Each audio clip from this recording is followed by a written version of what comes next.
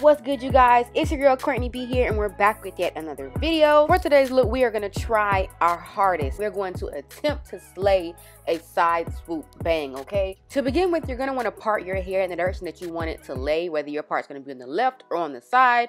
I typically like my parts on the left, and this was honestly the hardest part of the whole tutorial because I I'm not good at parting, okay? I'm not good at parting. I don't have my nails anymore. Y'all know Y'all know in previous videos I used to part my hair with my nails and now that I'm nubby by the hand, it's a little bit harder. Um, and as you can see, the part is a little bit wide, a little bit scattered, but you'll see how I fix that much later. Now I'm going to just part off my actual bang area, um, comb that out a little bit and clip that up. And I put the rest of the hair that I'm not working with just yet in a ponytail towards the back. Now you see me combing out the bang portion that we're going to use for the swoop and combing all the hair in the direction that you want it to lay. Now you're going to part out a thin section of that section of the bang section and you are going to clip away the rest of the hair and then apply the wax stick. This wax is going to help this wax stick is going to help this bang part lay flat and get it super duper sleek and let it stay in place until you are ready to apply it onto your head. And that's exactly what I'm doing right here. Applying the wax stick to the root and the um, front portion of the hair, not getting it all the way down the shaft, and then using my hot comb to lay everything down nice, neat, and flat and sleek. You feel me? Now, you may be able to do the same thing with mousse. I'm not very sure. This is just the way I know how to do it or the way that I prefer to do it. This is my first time trying this style, but I would say that the wax stick worked pretty well. Along with using the wax stick to flatten down the bang area, also make sure you are putting the wax stick on the back of your hair. This just helps the style look a lot more sleek and it also helps cover up the tracks towards the back when you are parting your hair. That way you can hot comb those hairs over the tracks and it'll cover a whole lot better. Even though I hot comb the back of my hair, this wig does have tracks in the back. So it kind of was inevitable for it to be a little bit bulky towards the back once I put the wig on. You'll see that during the install portion. But I honestly believe that this hairstyle is best done on a full lace wig. So just letting you guys know, it's going to be a little humped up in the back, but I did get it sleek as I could. But you probably will have the best results with this type of sleek side part swoop thing with a full lace wig.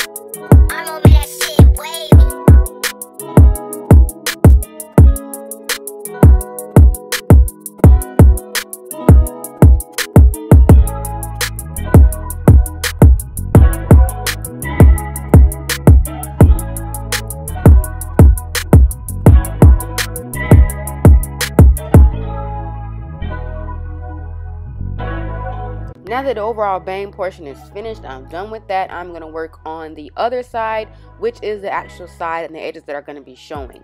I did not pluck this whole unit at all. I literally just plucked the side that was going to be showing. Um, I do have an end-up video of how I do pluck, but I definitely did have to pluck the parting space and the sides that we're going to have my, well, that I thought were going to have my baby hair. But I didn't go for any baby hair for today's look. So I will leave the exact video down below of how I in-depth pluck my units because the camera cut off at the peak of me plucking my um, edges. So yeah, I'll leave it down below in the description box. Now, as far as the install, since I did pretty much style the whole wig on the mannequin head, this part was super duper easy. It was just a matter of me uh, flat ironing the hair. I did flat iron um, the left side off of camera. So I flat ironed the right side here on camera, cut the lace off, tacked down the lace, blow dried it, um, swooped down my bang a little bit more, and then I was done, you guys. Of course, after tending to my lace, you know, matching the colors of my skin, all that type of stuff. So I'm not gonna really talk through this part because you've seen me do it a thousand and one times. I'm gonna be quiet, let you guys vibe to the music, and I will come back when it's time for the review portion of this video. And you guys do not mind me laughing and talking during this whole clip because I was on FaceTime with my best friend and we were catching up and yeah, it was a it was a cool little vibe, you feel me? So don't mind me laughing at myself.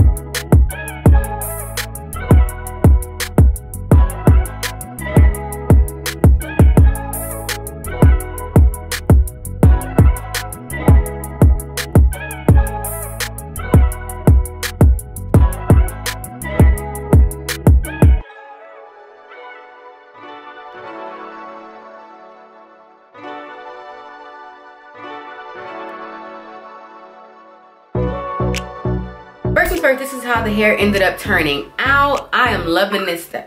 Y'all know I'm not really one for a side part or for a side swoop for that matter, but but this is really giving me like that girl. Like I'm really feeling like I'm that girl. Let's just jump right into the actual review portion of this video. This hair is from Yolissa Hair. I've worked with them before in the past. I'm not sure what video. This is their Brazilian straight. This is in the inches of 24 inches, but as you saw in the clips, I did cut off at least, I wanna say an inch. So it may be 23 inches as of now. Honestly, I'm not having any problems whatsoever with this hair. Only thing I'm gonna point out is that the hair does straighten pretty well, get straight super duper easy, but it does get a little bit frizzy, okay? This hair does have a lot of frizz, a lot of flyaways towards the top when I was trying to train my swoop. I did have a lot of flyaways towards the top middle part of my head, so I had to use a lot of the wax stick in that area, and those are commonly just called filler hairs. What we call flyaways are really called filler hairs, which is what some affordable wig companies put into their wigs. That's what they use to kind of thicken up their hair and to like meet their density quota, which is 180 for this unit. It's something you can easily fix by using your hot comb wax stick mousse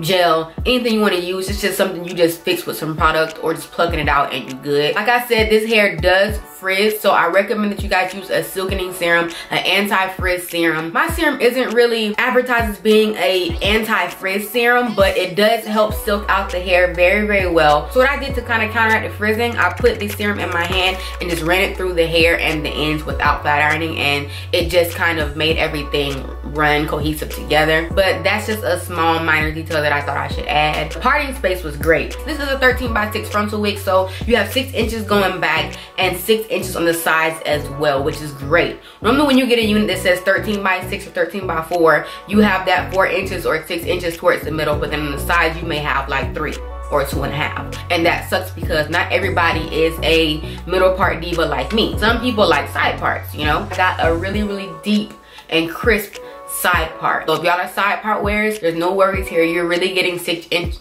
what? You're really getting six inches on each sides of your unit. And all, I do like this hair. One thing I do want to add also is that when you guys come to straightening the hair, I did not add the silkening serum bit by bit like I normally would do with my full straightening routine, which is what I wish I would have done. That maybe would have counteracted the frizziness a little bit more. But since I was being kind of lazy, I did not do that. So that may be what's making my frizz frizz. Possibly to avoid all that frizziness, y'all can refer to my straightening routine, my hair silkening routine, to show you guys how I really in-depth straighten my hair to get it silky, silked out when I have time. But today I was just in a rush, so I was just like, okay, sis is straight enough. We, we still popping period. If you guys enjoyed today's video, please do not forget to give your girl a big thumbs up. And of course, subscribe to the Beehive down below. Join the Beehive gang, the Beehive fam, because we are lit and we are never, ever bougie over here. Do you understand me? I need to keep in contact with your girl because I'm your best friend, you're my best friend, we're all best friends. So add your girl on Instagram. And yeah, as always, I love every single one of you. But until next time, my lovelies, your crown may tilt, but you never let it fall. Stay gilded.